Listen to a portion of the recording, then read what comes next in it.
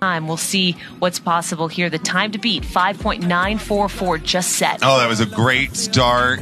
You'll see Winston and our final competitor Reese next, both wearing a muzzle, just super comfortable and soft. Just so.